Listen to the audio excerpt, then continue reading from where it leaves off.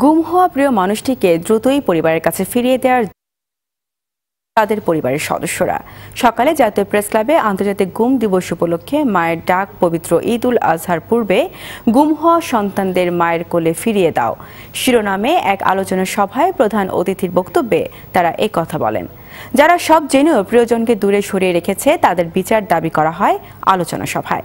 এছাড়া গুম খুনের বিরুদ্ধে একটা নিরপেক্ষ কমিশন গঠনের জোর দাবি জানানো হয় আলোচনায়। যদি একটা কমিশন করা যায়, আপনারা বিলে কমিশন করতে পারেন। আজই হয়তো সেটা কোনো ক্ষমতা পাবে না, কিন্তু একটা দিন আসবে যখন ওই কমিশনের কথাবার্তা সবাই ঠিকমতো বিশ্বাস করবে সামনে যাবে। এখনও পর্যন্ত মানুষ বিশ্বাস করে মানুষকে। এখনও পর্যন্ত মানুষ মানুষকে ভালোবাসে। কিছু লোক সমস্ত রীতিবোধ ঘুরিয়ে দেওয়ার চেষ্টা করছে, মূল্যবোধ ধ্বংস করছে, ভালোবাসা শেষ করে দিচ্ছে।